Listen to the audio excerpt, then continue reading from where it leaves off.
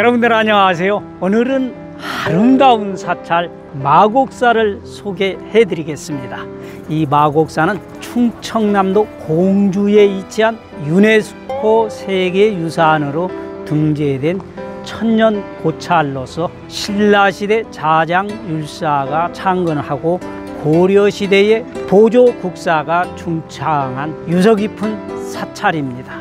이곳에 다녀가신 분들은 장수를 하고 극락 왕생을 한다라고 하는 사찰인데요. 그 이유가 무엇일까요? 여러분들 끝까지 시청해 주시기 바랍니다. 거기에 답이 있습니다.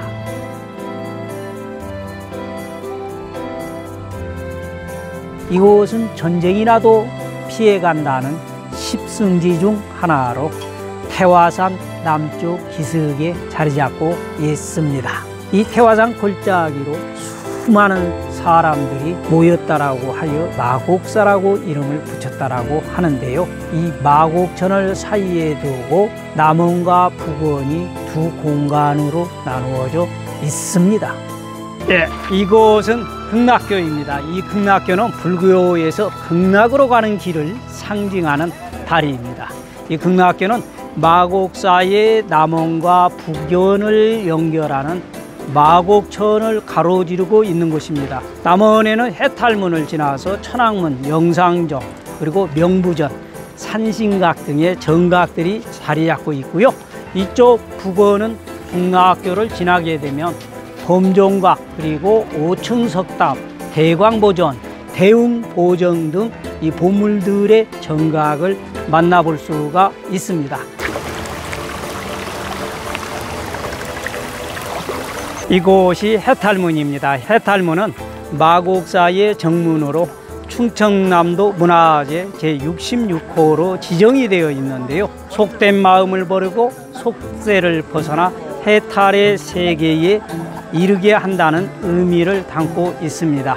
또 금강 역사가 봉안이 되어 있어서 금문의 역할도 함께 하고 있습니다. 정면은 중앙칸을 개방하여서 통로로 이렇게 사용이 할 수 있도록 했고요.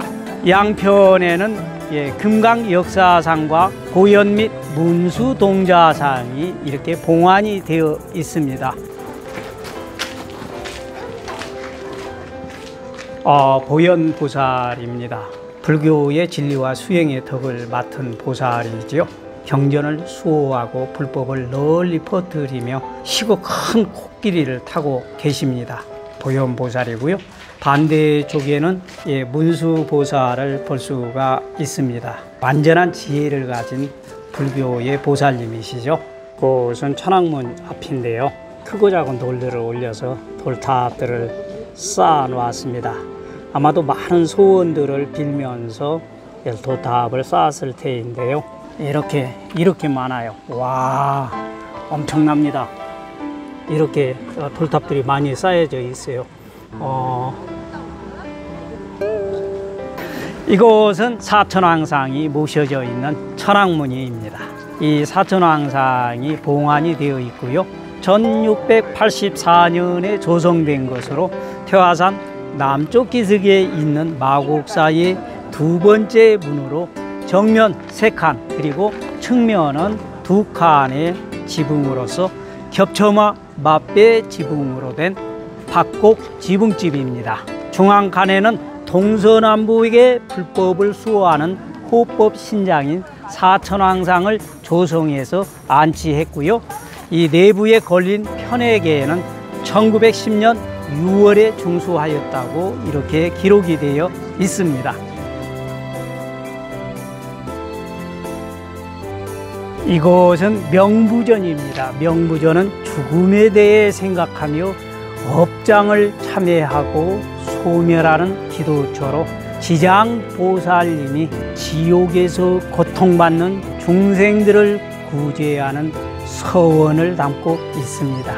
무독기왕과 도명존자, 시왕들이 근엄한 모습으로 자리하고 있습니다. 영산전입니다. 1650년에 중수된 영산전은 현재 남아있는 마곡사 건물 중에서 가장 오래된 정각으로 보물 809호로 지정이 되어 있습니다. 이 영산전에는 고려 시대에 만든 것으로 추정이 되는 일곱 불의 부처님과 천불의 부처님이 모셔져 있습니다. 이 과거 칠불은 석가모니 부처님 이전에 이 세상에 출현한 일곱 분의 부처님을 예, 과거 칠불이라고 하는 거예요. 이 마곡사의 영산전은 애로부터 오늘에 이르기까지 마곡사에서 가장 영험한 큰 정각으로 특히 어진 정승과 용맹스러운 장소를 만들어낸다는 군왕대의 모든 기운이 모여 있는 곳으로 알려져 있습니다. 나라에 큰 일을 할 인재를 배출을 원하는 많은 불자들이 부처님께 기도를 올리고 소원 성취를 하고 있는 곳이지요. 이곳은 나라의 기근을 막는 5층 석탑입니다. 대광보전 앞에 위치한 이 5층 석탑은 보물 제799호로 일명 다보탑 또는 근탑이라고 이렇게 부릅니다. 탑의 2층, 이 내면에 보게 되면 소박한 솜씨로 사방불이 양각으로 내면에 다 조각이 되어 있고요. 이 상륜물을 보게 되면 청동제인 풍마 등이 이렇게 조성이 되어 있습니다. 남아식 보 탑과 유사한 점으로 보아서 원나라의 영향을 받은 것으로 보입니다. 이 5층 석탑에는 나라의 기근을 3일간 막을 수 있다는 전설도 전해 내려오고 있습니다.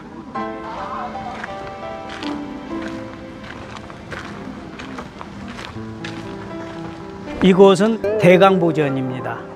이 대강보전은 마곡사의 중심 법당으로 1788년에 중창이 되었으며 보물 제802호로 지정이 되어 있습니다. 대강보전 내부에는 비로자나 부처님이 서쪽에서 동쪽을 바라보도록 봉안이 되어 있는데요. 이 비로자나 부처님은 진리 자체를 상징하며 모든 이들을 지혜의 길로 이끌어 줍니다. 또한 대광보전에는 안준뱅이 전설이 담겨져 있는데요. 부처님께 공양 올릴 돗자리를 싸면서 기도한 안준뱅이가 기적적으로 100일 만에 걸을 수 있게 되었다는 이야기입니다.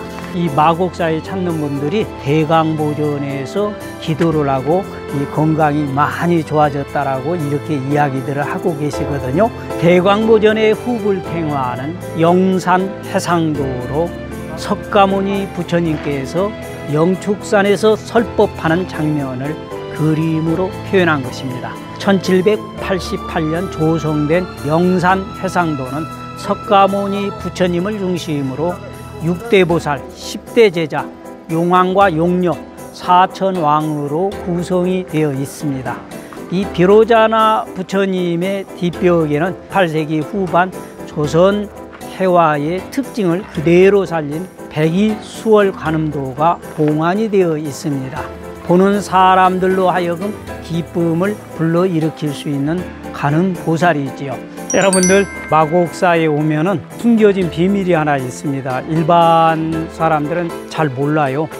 이쪽에 보면은 한 중앙에 파란색 청기화가 하나가 있습니다. 죽어서 염라대왕께 가면은 이 청기화를 보았느냐라고 물어본답니다.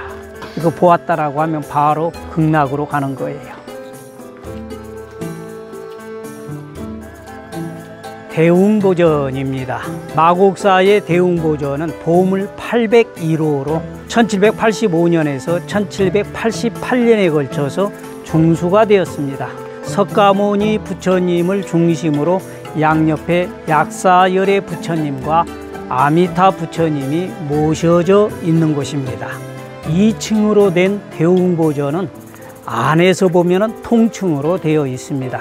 이 정각 내부에는 쌀이나무 기둥 네개가 있는데요. 여기에도 흥미로운 설화가 전해져 오고 있습니다. 사람이 죽어 저승의 염라대왕 앞에 가면은 그대는 대한민국의 간음성지 마곡사 쌀이나무 기둥을 몇 번이나 돌았느냐 라고 묻는다고 합니다. 그 이유는요, 많이 돌수록 극락길이 가 깝기 때문이라는데요. 아예 돌지 않았다라고 하면 지옥으로 떨어진다는 것입니다. 또 이 생에서 이 아들이 없는 사람에게는 마곡사의 쌀이나무 기둥을 안고 돌면은 아들을 낳는다라는 그러한 말도 전하고 있습니다. 이런 재미난 설로 인해서 지금도 이 쌀이나무 기둥은 윤기가 반질반질 나고 손때가 묻어 있습니다. 요즘은 아닙니다만은 아들을 낳고 싶은 안악들이 많아서이겠지요.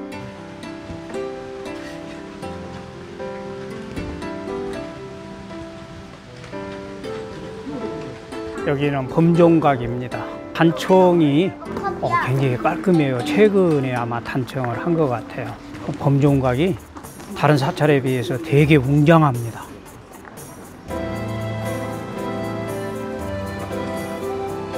네, 백범 김구 선생님께서 예, 은거 중에 기념식수를 했다라고 하는 향나무입니다.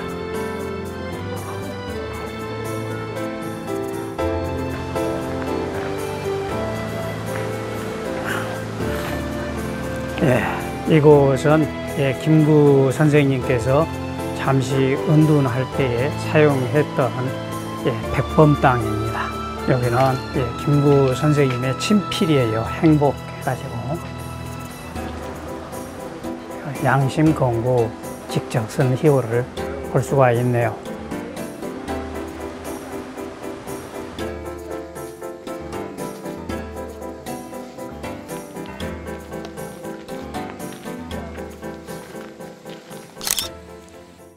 마곡사는 그 역사와 아름다움으로 많은 이들에게 사랑을 받는 사찰입니다. 이번 탐방을 통해 마곡사의 깊은 역사와 문화재들을 살펴보며 그 속에 담긴 이야기들을 느껴보셨길 바랍니다. 좋아요, 구독 부탁드리고요. 댓글창에 댓글도 좋은 의견으로 남겨주십시오. 다음에는 더 흥미로운 장소와 이야기를 가지고 찾아뵙도록 하겠습니다. 감사합니다.